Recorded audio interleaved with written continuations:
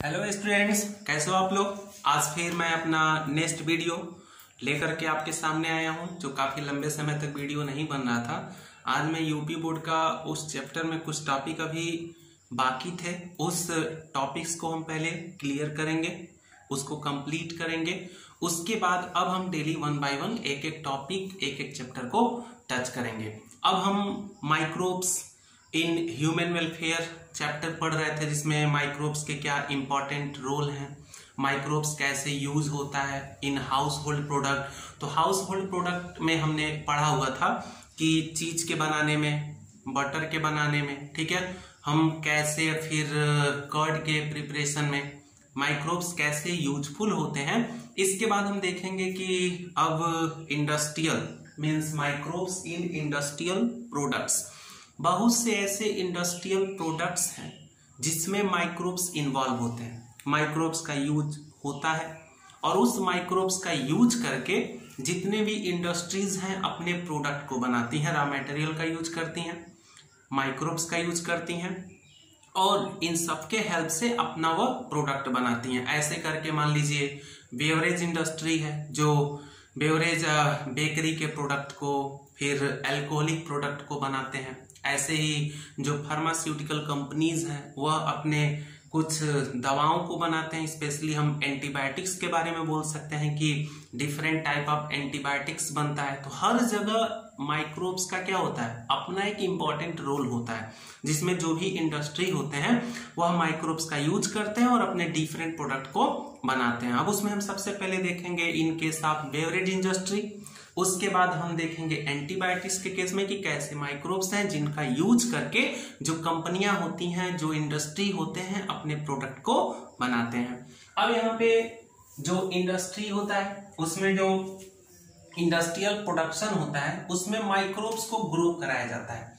और माइक्रोब्स को ग्रो कराने के लिए एक बहुत ही बड़ा लार्ज वेसल यूज़ किया जाता है। और वो जो लार्ज वेसल होता है that is fermenters or bioreactors bioreactors के बारे में हम डिटेल जब हम बायोटेक्नोलॉजी स्टार्ट करेंगे तो वहाँ पे हम बायो रिएक्टर के बारे में पूरा डिटेल पढ़ेंगे कि बायो रिएक्टर कौन सा कॉमनली यूज़ होता है। बायो रिएक्टर यूज़ करने का मेन पर्पज क्या है? तो इस बायो रिएक्टर को हम यहाँ छोड़ते हैं ताकि हम अच्छे से इसके बारे में बायोटेक्नोलॉजी के अंडर में स्टडी कर सकते हैं। अब हम स्टार्ट करेंगे फर्मेंट फर्मेंटेड बेवरेज के केस में, जो माइक्रोब्स हैं, उनका कैसे यूज़ होता है।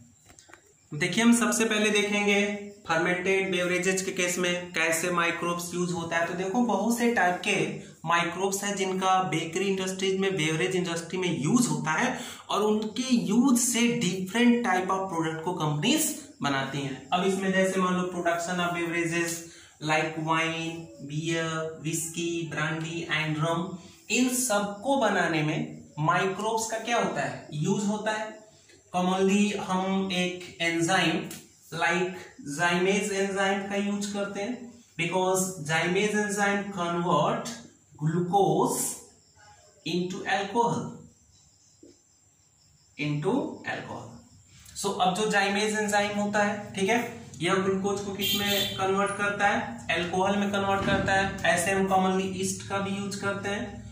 ईस्ट का यूज़ बेकरी इंडस्ट्री में भी किया जाता है। कभी कभी ईस्ट का वन मार्क्स में हर एक कॉम्पिटेटिव एग्जामिनेशन में, आपके होम एग्जामिनेशन में पूछ लिया जाता है what is the scientific name of baker's yeast or brewer's yeast तो इसका साइंटिफिक नेम आप अच्छे से लर्न कर लेना।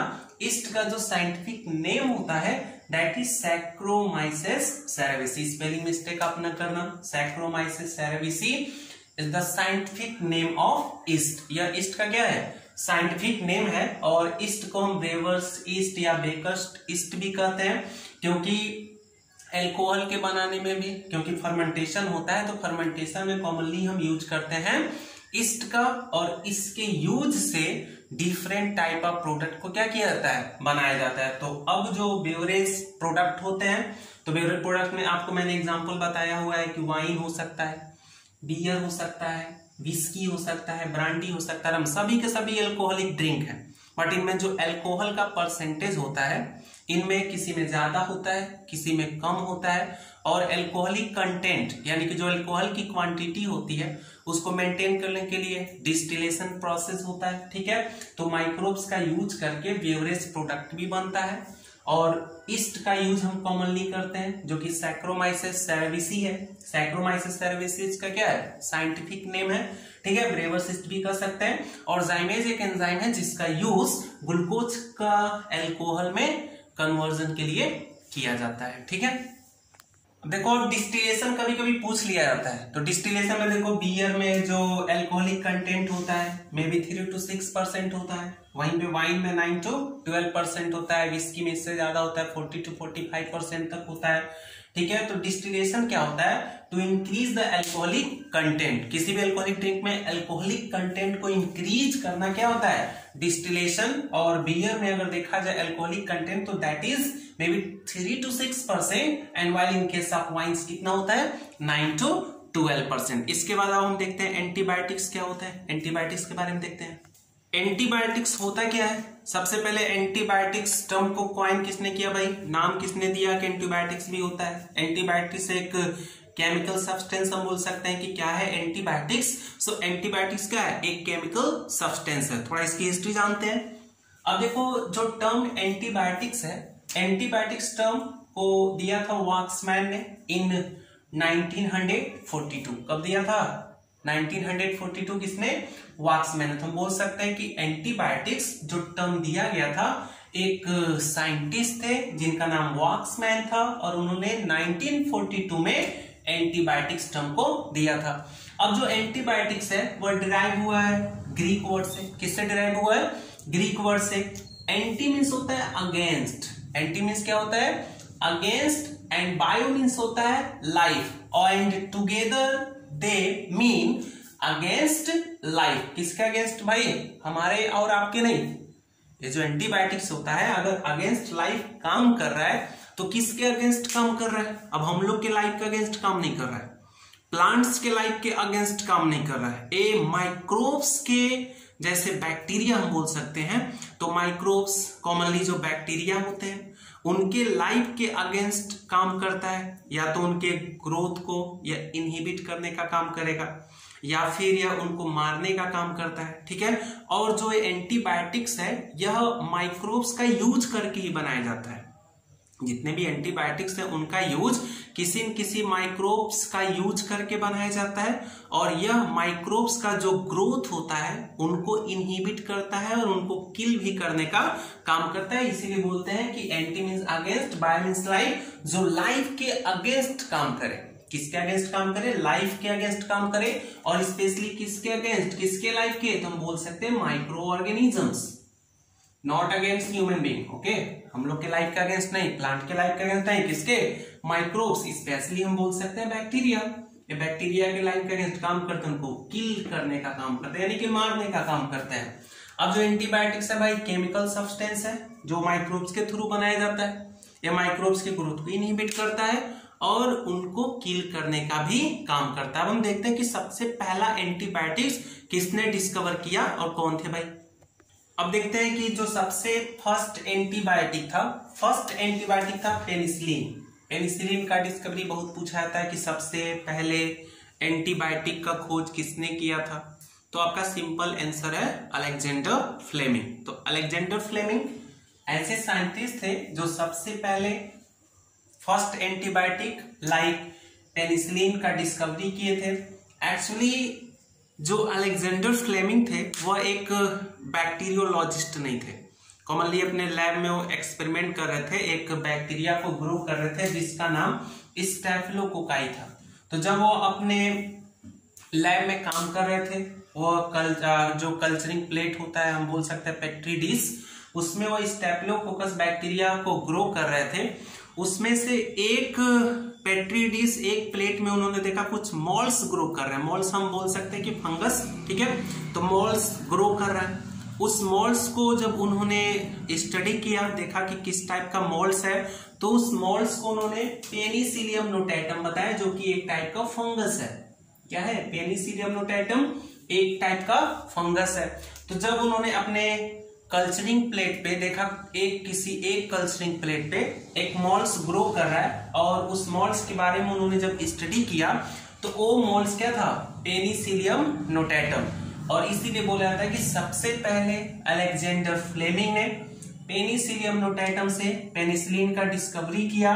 बट इंटरेस्टिंग बात यह है कि वो पेनिसिलिन के डिस्कवरी के बारे में एंटीबायोटिक्स के डिस्कवरी के बारे में काम नहीं कर सकते, नहीं कर रहे थे। यह एक एन एक्सीडेंटल एक्सपेरिमेंट है। यानी कि लक बाई चांस हम बोल सकते हैं कि यह उनसे डिस्कवरी हो गया। On the time of second world war American soldiers पे उन्होंने इसको अप्लाई कराया। अमेरिकन सोल्जर्स धीरे धीरे क्योर होते गए और इसके लिए इनको नोबेल प्राइज भी दिया गया। तो वह बोल सकते हैं कि एन एक्सीडेंटल एक्सपेरिमेंट था जिसपे काम नहीं हो रहा था, लेकिन अचानक ऑल ऑफ़ सडन उनसे डिस्कवरी हुआ, जिसका क्रेडिट जाता है अलेक्जेंडर फ्लेमिंग को तो अलेक्जेंडर फ्लेमिंग ने सबसे पहले पेनिसिलियम नोटैटम फंगस से पेनिसिलिन का डिस्कवरी किया but nowadays on industry level penicillin is obtained from another species, that is Penicillium chrysogenum. Penicillium chrysogenum. आज के डेट में इंडस्ट्री लेवल पे पेनिसिलियम क्राइसोजीनम से पेनिसिलिन का प्रोडक्शन किया जाता है पेनिसिलिन को बनाया जाता है। अब देखिए जो पेनिसिलिन था, उसको सेकेंड वर्ल्ड वार के टाइम पे अमेरिकन सोल्जर्स को ट्रीट करने के लिए उनका जो चोट लग रहा था, उस पे अप्लाई किया जा रहा था, जिससे काफ़ी हद तक उनके जो चोट थे, भर रहे थे। जिसके लिए इनके साथ और भी दो साइंटिस्ट है जो इसके डिस्कवरी के केस में लगे हुए थे। वो थे Chain and Florey Chain and Florey.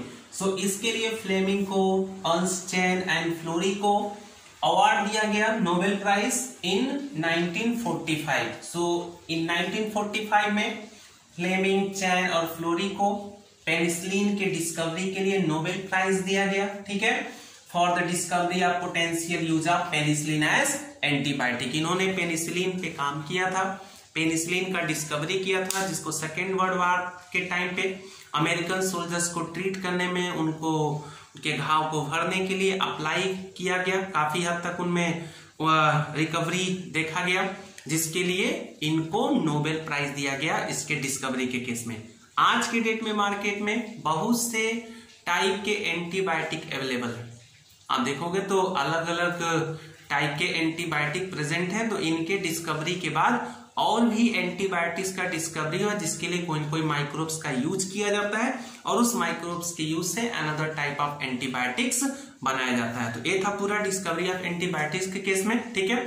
फिर हम आपको नेक्स्ट वीडियो में नेक्स्ट टॉपिक बताएँगे, कुछ एंजाइम्स के बारे में है, कि कौन से एंजाइम्स हैं, जिनका क्या यूज़ है, उसके बाद हम सीवेज ट्रीटमेंट के केस में भी माइक्रोब्स का यूज़ देखेंगे। सीवेज ट्रीटमेंट में माइक्रोब्स का बहुत बड़ा रोल होता है, जिसके बेस पे प्राइमरी सीवेज ट्रीटमेंट और सेकेंडरी सीवेज ट्रीटमेंट के बारे में हमें स्टडी करना है। तो आपसे रिक्वेस्ट है, आप अच्छे से वीडियो देखो। अगर आप कोई प्रॉब्लम है तो आप कमेंट बॉक्स में बता सकते हैं क्या आपको प्रॉब्लम हो रही है। आप ज़्यादा से ज़्यादा सब्सक्राइब करें शेयर करें लाइक करें, ताकि आपको हर एक टॉपिक का वीडियो टाइमली मिल सके। Thank you thank you so much